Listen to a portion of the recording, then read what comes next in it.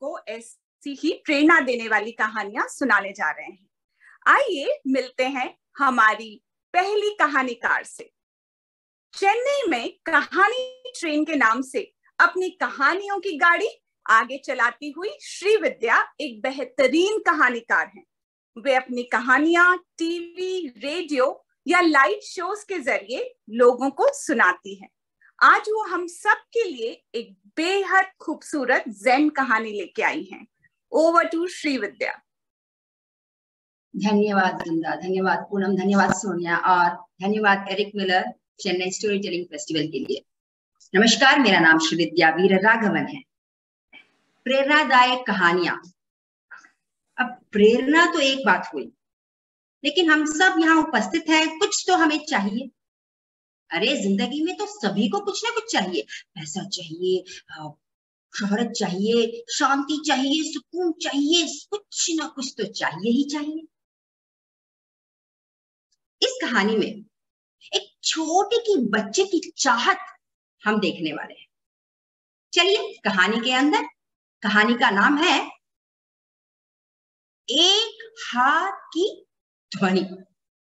अरे, एक हाथ की आवाज़? हाँ जी, चलिए कहानी के अंदर। हम चलते हैं जापान के एक गाँव में। वहाँ एक छोटा सा लड़का रहा करता था। नाम था टोयो। छोटी छोटी इतना सी, इतनी सी नाक, कद भी एकदम नाटा सा। कोई नहीं कह सकता था कि उसकी उम्र बारह साल की है। फिर भी हर सुबह उठता था नहा धोकर अपने मुलायम बालों को सवारता और हकौरी हकामा पहनता। दौड़ के जाता उस गाँव में स्थित बौद्ध मंदिर के ओर। अब मंदिर जाते हैं प्रार्थना करने के लिए। लेकिन अपना जो टोयो था ना, रोज जाता था और मंदिर के इस बार एक छोटा सा केंद्र था। उस केंद्र में एक कमरा था और उस कमरे के अंदर उस बौद्ध मंदिर के मास्टर मुखुराई बैठा करते थे। उस कमरे के अंदर मुखुराई के इर्द गिर्द कई शिष्य भी बैठा करते थे। अब ये छोटा सा टोयो अपने नन्हे नन्हे पाओ से अंदर भागता, लेकिन कमरे के बाहर खड़ा रहता। रोज जाता था, दूर से मुखुराई को देखते रहता था। देखता था कि कैसे मास्टर जी सभी शिष्यों को संजैन या बोलते हैं, मेडिटेशन एक प्रकार का मेडिटेशन टाइप होता है जैन में मध्यस्थता तो उसको सिखाते थे दूर से छोटा छोटा बच्चा ऐसे देखते रहता था। एक दिन, उसने चाहा कि वो सीधे जाए अपने मास्टर से बात कर। उस दिन, और उत्सुकता से वो भागा तब कमरे के पास गया, और कमरे के एकदम से बाहर, टंगी हुई थी एक छोटा, छोटी सी घंटी। उनके रीति रिवाज में जो भी उस कमरे के अंदर प्रवेश करना चाहता था, उसे पहले इस टोंग को बजाना था। बच्चे ने बजाई मधुर ध्वनि। और एकदम द्वार के पास खड़ा हुआ। फिर आदर पूर्वक छुपकर तीन बार प्रणाम किया। और बाद में अंदर गया। अंदर मुखराई मास्टर जी बैठे थे। किन्हीं शिष्यों से बात कर रहे थे और बस अपने ध्यान अवस्था में फिर से जाकर बैठे थे। अभी इस इस इस टाइम ये जो टोयो है ना, जाता है और देखता है कहीं तो बैठो। और वो एकदम चल, चिलचिला बहुत ही यू नो फुल एनर्जी में था वो। ऐसे देख रहा था, सभी एकदम मौन रूप से, शांति से अपना ध्यान कर रहे थे। और ये गया, देखा, मुकुराई के एकदम पास एक थोड़ी जगह थी, वहाँ जाके बैठ गया। उसके इस इस हलचल से पास के शिष्य भी थोड़े मुखर गए। उन्होंने इशारा दिखाया। अभी इस वक्त मुखराई के, का चेहरा भी इस बच्चे की ओर मुड़ा जैसे उन्हें मालूम था कि ये बच्चा क्यों आया है। मुड़ते हुए उन्होंने पूछा बच्चे तुम्हें मुझसे कुछ पूछना है? बच्चे ने टोयो ने फ़ौरन फ़ौरन से उत्तर दिया हाँ आ, मास्टर जी मुझे संजयन सीखना है। क्या? तुम बच्चे हो। कुछ वर्षों तक इंतज़ार करना पड़ेगा। नहीं नहीं, मास्टर जी, मैं मैं सीख सकता हूँ, मैं ना रोज आता हूँ, मैं दूर से आपको देखता हूँ मुझे मालूम है कैसे करना है, बस आप मुझे सिखा दो, मैं सीख लूँगा, मैं सीख लूँगा, मैं सीख लूँगा।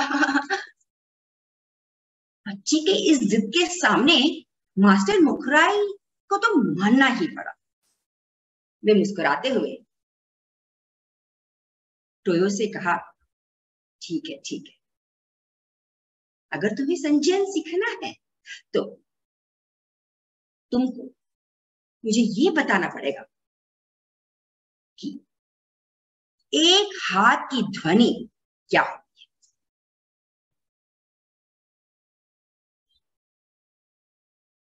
एक हाथ की ध्वनि ये तो होती है। नहीं नहीं, ये तो दो हाथों की ताली है। मैंने पूछा एक हाथ की ध्वनि, क्या होती है भला ठीक है, मैं सीख के आ जाऊँगा। और अपना ये जो छोटा बच्चा टोयो था, भागा सीधे अपने घर के अंदर, गया अपने कमरे में और बैठा ध्यान मस्ता में और अपनी आँखें मूंद कर पूरा ध्यान अपने हाथों में चला दे दिया। बस दस मिनट ऐसे आँखें मूंद कर वो ध्यान कर ही रहा था कि पास में, पड़ोस में जापान के घेशा घेशा होता है उस जापान के संगीत नृत्य का एक रूप तो घेशा चल रहा था। और उसके कानों में पूरी वो घेशा की मधुर ध्वनि अंदर जा रही थी और उसकी आँखें खुली। अगले दिन दौड़ता है मुखराई के पास, बोलता है, मुझे मालूम हो गया, मुझे मालूम हो गया। क्या मालूम हुआ?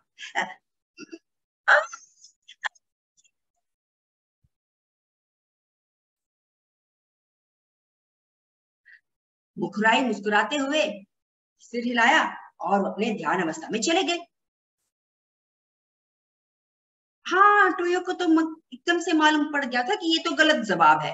ठीक है, फिर से भागता है, पेड़ के नीचे बैठता है, का आँखें मूंद कर ध्यान में जाता है तो उसको मधुर मधुर पक्षियों की आवाज़ सुनाई देती अगले दिन दौड़ के आता है। कि नहीं ये तो पक्षी की आवाज़ हो गई बच्चे। जवाब गलत। फिर से अगले दिन जाता है, पहाड़ के ऊपर बैठता है तो उसको हवा की ध्वनि सुनाई पड़ती है। फिर जाता है दूसरे दिन गुहे के अंदर, वहाँ मच्छर की संगीत सुनाई देती है। बस एक, दो, तीन दिन चलते गए चलते गए। बस बच्चे को तो एक हाथ की ध्वनि बिल्कुल ही नहीं बता रोज आता था, मुखराई से यही मुस्कुराहट, मुखराई की वही ध्यान अवस्था इससे ज़्यादा तो मुखराई उसे बात भी नहीं करते थे टोयो ने हार न मानी। वो बच्चा। अभी तक उसने मानो कई ध्वनियों को एकत्रित कर लिया था। एक नहीं, दो नहीं, करीबन बारह महीने, मैंने एक साल। वो ध्यान अवस्था में रोज प्रयास करते गया करते गया करते गया। कि वो रोज रोज मंदिर आना ही भूल गया। कई दिन बीत गए।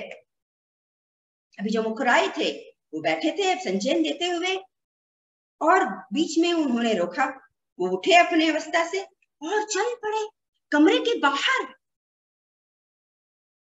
मुखराई ज़्यादा अपने केंद्र से बाहर नहीं जाते थे, लेकिन ये तो गए बाहर।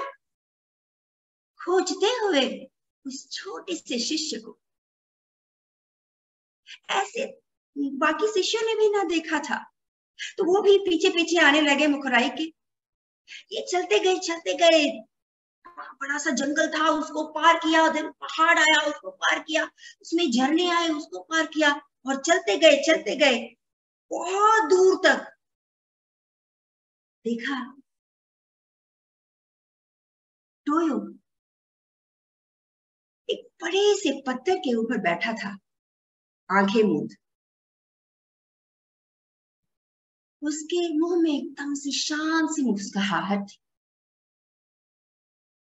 ऐसा लग रहा था मानो उसके चेहरे से सूर्य की किरणें निकल रही हो। और अपने हाथ को एकदम से ऐसे ऐसे हिला रहा था, जैसे नाच रहा हो हवा के साथ, जैसे हवा की तरह एकदम सा हल्का हो गया हो।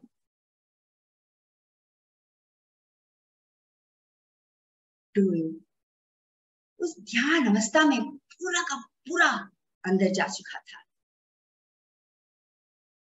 उसने पार कर लिया था कई ध्वनियों को पार आज इस अवस्था में पूरा मग्न सुगंधित सुकून के अंदर अभी मास्टर पास जाते हैं और बैठ जाते हैं कई देर इंतज़ार कर अपना ये जो ट्रूयो था छोटा सा बच्चा अपनी छोटी छोटी आँखों को उसने खोला, क्योंकि उसको भी कुछ एहसास हो गया था कि पास में कोई बैठा है।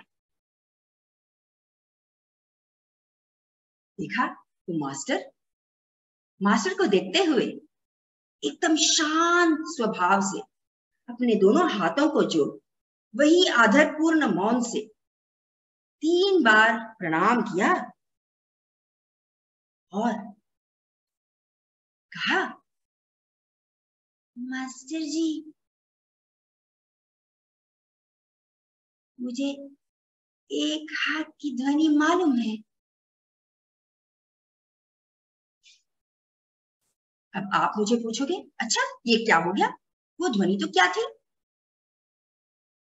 मास्टर मुस्कुराए, को तो उसकी जान थी तो वही मुस्कुराए और अपने हाथों को उसके सर पर रखा। उसको आशीर्वाद देते हुए कहा हाँ बच्चे, तुम जान गए। तुम संजयन के लिए बिल्कुल तैयार हो। आओ मेरे शिष्य मेरे साथ आओ। और वे उसे अपने साथ संजयन सिखाने चले गए। अब वो क्या उत्तर हो सकता था जो इस बच्चे को मालूम पड़ गया?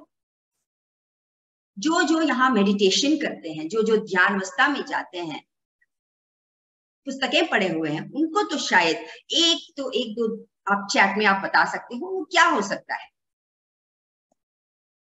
वो क्या उत्तर हो सकता है जिसे सुनकर मास्टर उसे अपना शिष्य मान? ले ये हुई सभी ध्वनियों को पार, एकदम से एकदम से। सभी ध्वनियों का पार, मौन से भी ज़्यादा पार। ध्वनिहीन ध्वनि। ध्वनिहीन ध्वनि की अवस्था में।